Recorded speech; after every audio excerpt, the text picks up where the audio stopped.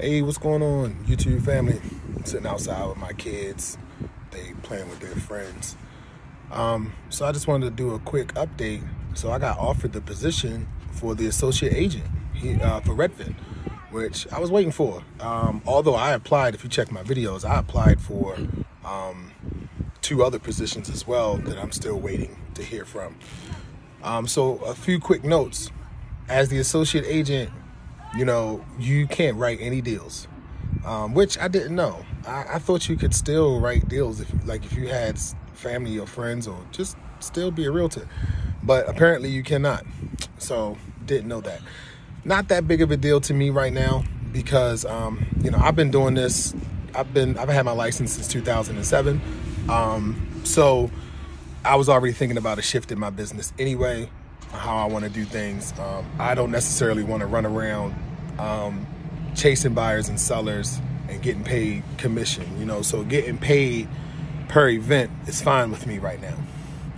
Um, but I am still waiting on the real estate agent position to get back to me and the acquisition specialist. I'm trying to make sure this wind don't hit the mic. Um, so she did send me a list. She emailed me a list of uh, all the things I can get paid for. And it goes from like, I think the, the, the smallest amount I saw was like $12. And that was for like dropping off a, for like a just sold rider sign or something like that to $200. And it says something like, you know, sales center coverage. And I don't even know, you know, I, I didn't even know they had sales centers around. But um, I don't know if uh, you know all of those things will be um, applicable to my area, but most of them look like they will be. Open houses was uh, I think was like 120 bucks. Um, of course, there's a weekend rate for taking people out. There's a weekday rate and a weeknight rate. You know how much they pay you for taking people out. So um, I'll update you guys on that as soon as I hear back from her and get started.